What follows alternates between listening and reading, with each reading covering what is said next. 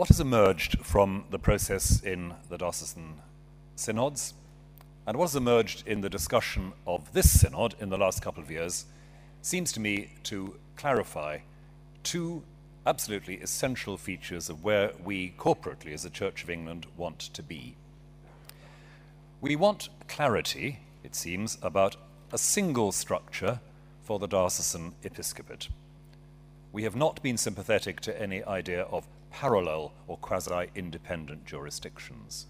We want to see, as has often been said, bishops being bishops rather than different kinds of bishops with different kinds of powers. The second thing that has emerged very clearly from this process is that we want to make provision for a minority that respects their theological integrity and their need for pastoral continuity. Not only for theological integrity, you might say, but for some sort of ecclesial and sacramental integrity. That's already encoded, if you'll excuse the expression, in the measure that we've looked at. Clarity about a single structure for the diocesan episcopate, a provision for a minority respecting their theological integrity and the need for pastoral and ecclesial integrity. It's in the light of those two things that I want to offer a couple of reflections on the implications of those principles in the light of some of the debate we've already had and with an eye to some of the debate we'll have later today. First, then, I'd like to pick up some of the questions that were asked yesterday about this question of derivation and delegation and see if that can be clarified at all for members of Synod. Um, as you will be aware, attempts by the Archbishop of Canterbury to clarify any theological point are likely to end in its obfuscation, but I hope you'll bear with me. when a person is ordained, they receive authority. That's the language we use in our ordinal. They receive the church's authority to preach and to teach and to minister the sacraments. That's now part of who they are within the church. It's part of how the church recognizes their calling to a specific ministry. But the church exists in ordered form, legally and canonically ordered form. And somebody who has received authority in that general sense through ordination then has, to use a rather a crude metaphor, to be plugged in to the legal and canonical system. They have to receive the license to exercise that ordained authority, legally and canonically, here, here, or here.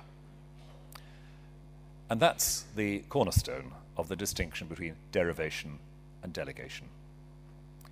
Any ordained person receives, derives the authority for preaching, teaching, and ministering the sacraments in general as part of who they are before God by the Church's act in ordination. Ordained persons also receive, in various ways, license to perform those functions in a specific context. And that's where delegation comes in.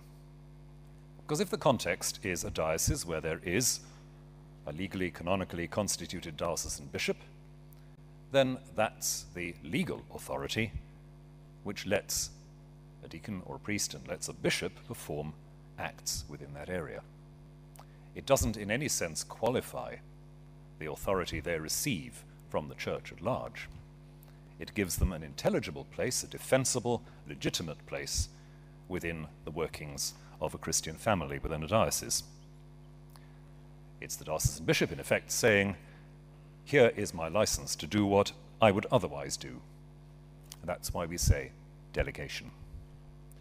Now, I suspect that if we get that distinction right, we might avoid some of the confusion that is around, which sometimes seems to assume that delegation must mean you derive your authority as an ordained person from the person who lets you do it.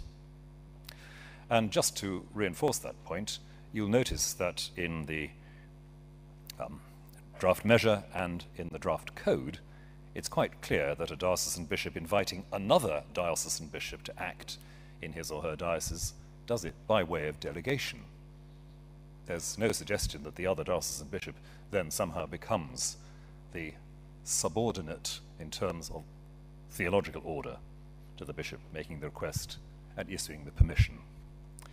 Likewise, it's the case that in some circumstances, um, the ordinary authority of a diocesan is exercised by somebody who isn't a bishop. In a vacancy in see, for example, or in the period between a bishop being confirmed as bishop elect and being ordained as a bishop. All of that might sound a little bit full of uh, fish bones, but I hope that if we can keep that clear, we may avoid some of the misunderstandings that are around and allow ourselves just a little bit more leeway in thinking about delegation and why and how it matters. The authority that is received from the church at large is received in ordination. Nothing prejudices that. Somebody has to make decisions about what is good order in a particular area now, the second point relates to the second principle I enunciated at the beginning provision for minorities that respects theological integrity and pastoral continuity. And this is where the phrase male bishop has come into the sights of a lot of discussion lately. The draft measure itself and the draft code very amply both recognize that, in the terms used yesterday, this is necessary but not sufficient. The draft code makes very plain that resistance to having a bishop who is not male is the result, not the starting point, of a theological argument. Theological conviction, convictions have to be established, which, to use the phraseology of the draft code, paragraphs 90 and 114, if you're interested, theological convictions which give rise to a problem with a female bishop. The difficulty many feel is that to leave the phrase male bishop in the draft measure insufficiently recognizes where that particular point comes in the argument people are trying to make. It doesn't go to the root of it. In other words, the theological conviction is not about male bishops as such, it arises from certain other convictions. And one of my questions about the draft measure is whether anything can be done there and or in the code of practice to overcome the resistance that is felt to that phrase and to do better justice to what it rests upon. If I'm right about the two fundamental principles, that's not a substantial change in the measure. But it does, of course, then raise the question of how whether in measure or in code, we do proper justice to this second point about theological integrity and pastoral continuity and ecclesial integrity. How we do that without over legislating, over prescribing in a way that creates parallel church identities by default. And that, I suppose, is what a couple of years ago the Archbishop of York and myself were feeling our way for in the now notorious Archbishop's Amendment. If you look at some of the um, background literature that was provided at the time on that amendment, precisely the two principles with which I began were enunciated as the principles on which that amendment was based. Now, whether we were right or not to cast it in that form, I'm not at all sure.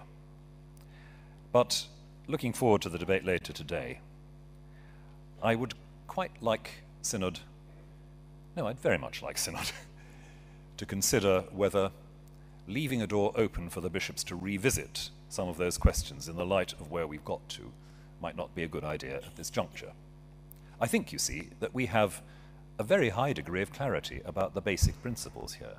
I think we have the possibility of some bits of fine tuning that will take us a little bit further. To use the analogy I've used in this chamber before, it's a little bit like the ceiling of the Sistine Chapel, with God's finger and Adam's just, just about within touching distance.